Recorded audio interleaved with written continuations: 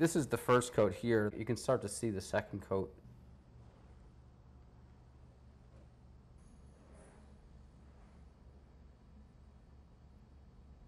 To see the second coat happening, you know.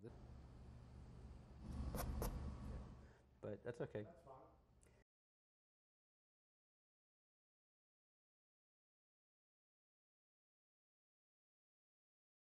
I was just so upset with, I, I just thought it looked horrible and they were never going to use it. I just remember throwing my brushes across the room in the middle of the night. I was like, this looks horrible.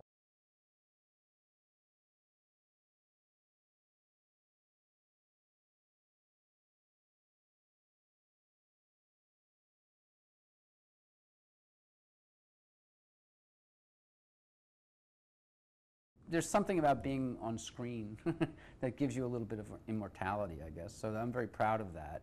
It's a nice feeling, you know. It's, uh, it's a good way to impress a date. um, but I actually made the costume um, by hand, um, or I had a friend make the costume. That's correct. That's Jenny Joseph, and she was incredibly gracious um, and just wonderful about the whole thing.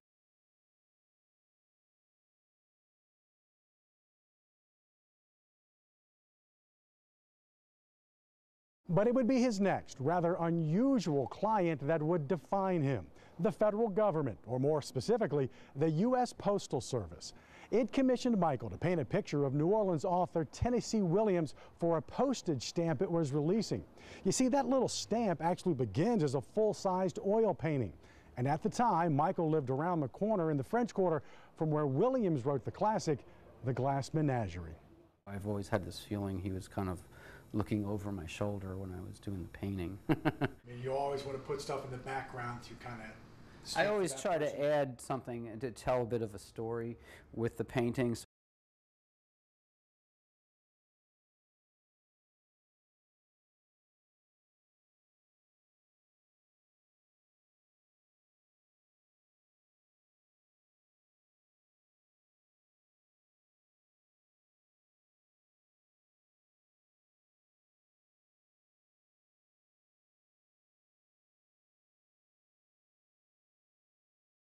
And it was uh, very successful.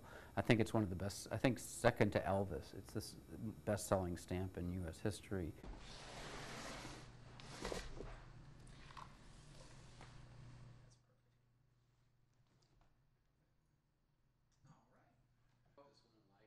I mean, he just had such a dramatic face. I mean, he really looked like the classic, but the body and the torso and everything else, like. And I was always attracted by Poe's face, how he looked. Um, he looked so much like one of his creations. He had a very um, romantically handsome, sad, tragic face.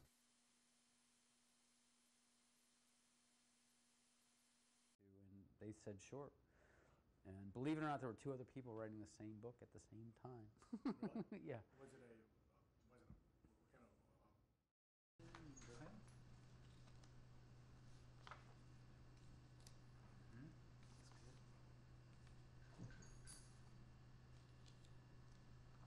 My friend Maria um, took pictures of me with a silly looking wig on in a 19, 18th century costume. Unfortunately, I have the same hairline.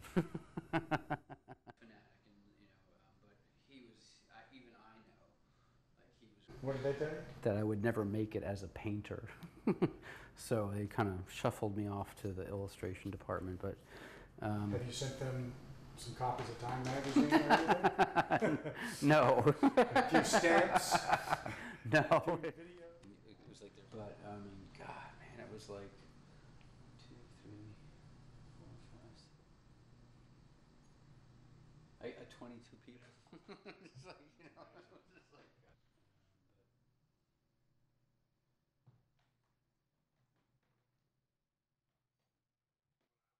There's something just very beautiful about them, and I can't quite put it into words, and that's why I'm a painter. If I could put it into words, I'd be a writer. You get, like, you know, your phone doesn't stop ringing for weeks, but now it's just kind of, um, things that will look as good in 20 years as they do now. So I do try to make my stuff, um, you know, um, as timeless as possible.